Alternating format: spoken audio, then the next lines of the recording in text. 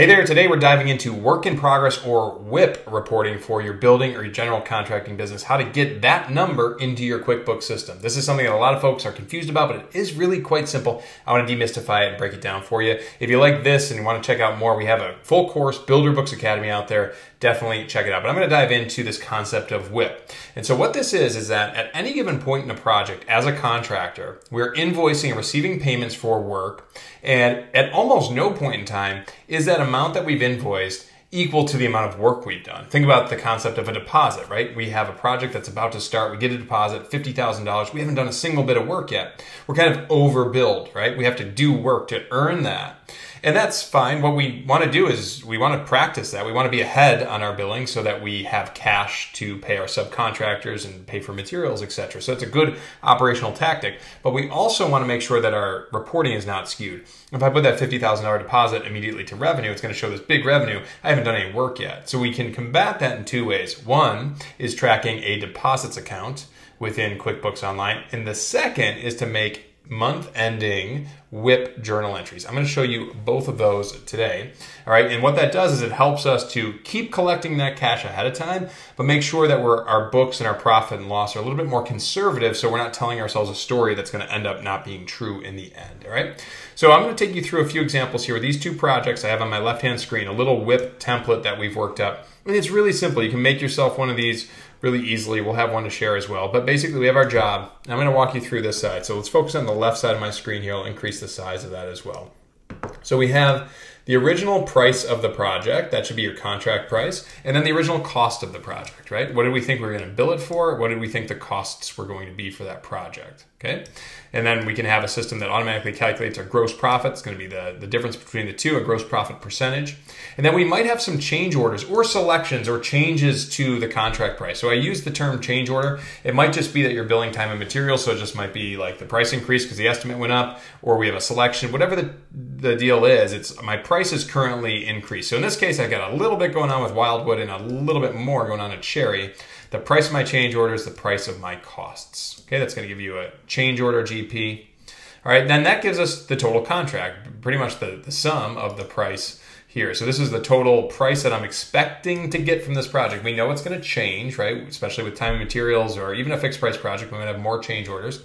Here's my total contract price, and here's my total estimated costs, right, as far as I know it. Now, how do we get all these, by the way? We should be using a system like Buildertrend or CoConstruct or something like that to help track that. I'm not going to get into that on this video here. I use Buildertrend. I have plenty of videos out, out there. Basically, this is a really easy report for me to run. Just, you know, what is the current running price of my project and what is the current running cost of my project? That's going to give us our estimated gross profit, estimated gross profit percentage, and then here's where we're going to do some work on a monthly basis. We're going to put in what are our costs to date and then how much have we billed the customer. And then this little template's just going to calculate for us, here's how much revenue we've earned based on a cost complete model. Here's how much revenue we kind of should have billed. And then compare that to what we've actually billed will give us our, our WIP difference. So to find that, we're going to go into our projects. Before we do, we want to create a couple accounts within QuickBooks. So I'm going to shift over to QuickBooks and look at my chart of accounts. For one, we should definitely have a deposits on hand as an other current liability. When you get a job for the first time and you, are probably not starting for a while, you get a deposit, $40,000, $50,000, 10% of the contract, whatever it is, we should be putting that on the liability. It's really exciting to put it in revenue and say, look at my revenue is going up. But really what this is, is we're holding on to the money for our customer. We're stewards of that money. It's a liability. We owe it back to our customer once we do some work, right? And so that's we put it as a liability. Think of it like a security deposit. So we have that account, and then I have another one called WIP, which is my work in process, and this is any difference to what I've billed as re- as revenue that I want to offset. Again, it's a way of for me making my P and L per project look more conservative, look more realistic to what it's actually going to be. Okay. And then we also need to have a WIP on the income side as well. So a WIP over or under billed on the income side. Now this is nothing that your customer is going to see at all. So don't worry about that. They're going to get their invoices, they're going to get their bills, they're going to pay those, and they're going to see what their totals are. We are going to be tracking this for our purposes, okay? So get those accounts set up. Now let's go to our project and let's see what's going on here. So I have first Wildwood, okay?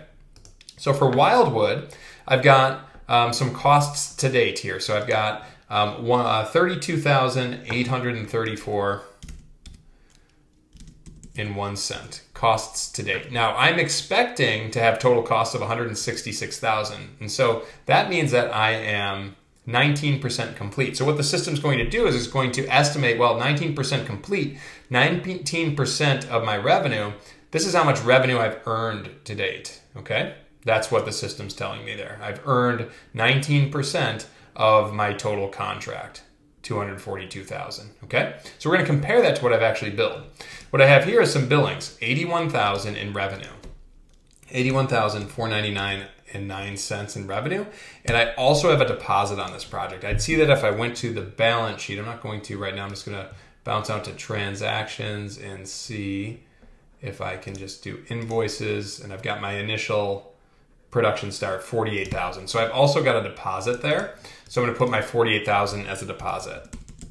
Okay, so I've totally billed 129,000. So this system's telling me that I'm 81,000 over. And again, that's a good thing from a cash flow management standpoint. The customer's provided me um, 81,000 in excess cash. Now I can go and complete the job, right? But I don't want to be reporting on, you know, this profitability right here, a 60% profit margin. That doesn't really mean much to me because eventually the costs are going to catch up to me. That's what this means here. All right, so there's Wildwood kind of ready to go. Let's do the same thing with Sherry, 4910 Sherry. Let's go to that project over here. All right, and I've got my original price and I've got a bigger change order here, right?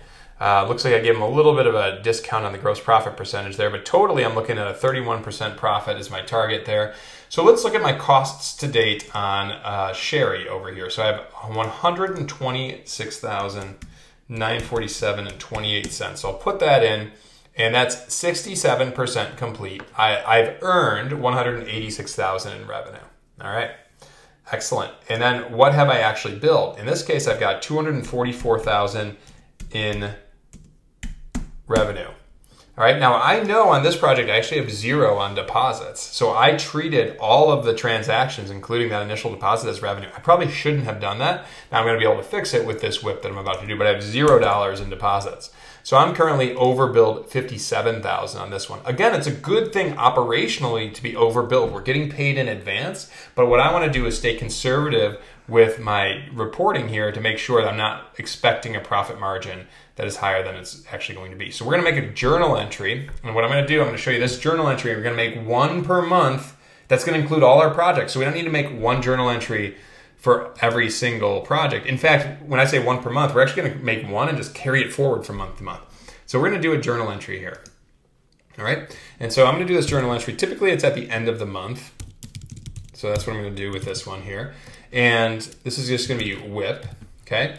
And we're going to pull up a few accounts here. So the first is our WIP income, and then the second is the liability. And we're really just moving from income to liability. Okay, so that's what this one is right here.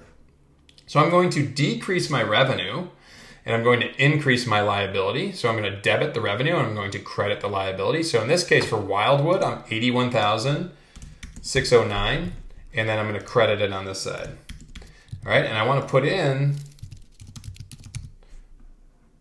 that project as, as well. So there's Wildwood. Okay, and I'm going to do the exact same thing. I'm going to do income, and then I'm going to do the liability. Oh, I believe, yeah. Okay, good.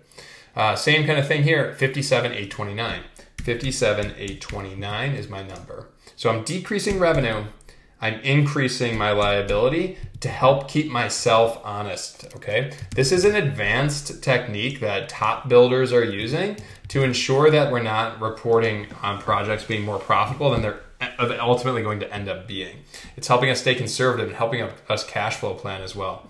So if I save and close this transaction, go back to my project here and look at my profit margin has decreased because I've got my residential remodeling, I got my billings, and then this WIP over under bills brings my revenue down to what the earned revenue should be, giving me the profit margin that is way closer to what I'm expecting to have earned. All right, it's a conservative way at looking at these projects. The customer never sees this, but it's going to help me to stay conservative and see that I'm, you know, um, in excess right over here. If I go to this one and refresh, same kind of thing with Wildwood. I want to see my profit margin is going to, whoa. All right, and basically I was double counting the deposit. So that's my bad on the template. Let me just go ahead and correct that real quick. We have that, um, see if I can find that journal entry. Go all transactions, there's my WIP. All right, I messed that up, my bad. This was um, 33609. So my, um, yeah, if I go to my overview here, there's a 47,890. Yeah, I was double counting the, the deposit. So my bad on that. I want to get to a profit margin of 31.4, and that's exactly where I'm at. All right. And then where does this turn out on the balance sheet? If we go to our balance sheet here, uh, I'll just refresh this quick. We're going to see this in the liability. And th this is going to just kind of keep running with us. Okay. As we move on, we're going to take that same journal entry and just change it to August. We don't need to have one every single month. That's going to get confusing. Just keep moving it forward. So in my liabilities, right here, current liabilities, I'm going to have over and under billed is going to be a deposits on hand, as well as if I move the date here, as well as my uh, WIP, okay? And that's what you want to do because what we're looking to do here is stay conservative with all of this and make sure that we're not over reporting. So there's my over and under billed. I've got my deposits on hand and my WIP, right? Stay conservative. It's really exciting to have all this extra revenue and show a 48% gross margin. But if we don't think we're going to end up there, what's the point of doing that? We want to be able to stay realistic with it and make sure we're tracking this as a liability. All right. Let me know your questions on this. Again, this is an advanced technique. This is like top builders are doing this to make sure that their books are in line, that we're, you know, staying conservative so that we can make sure we have cash at the end of the day. Let me know your questions on this, or if you do it a different way, I'd love to hear from you. And again, we talk about this in everything uh, that has to do with QuickBooks Online for builders in our course, Builder Books Academy. Definitely check it out. I'll see you in the next video.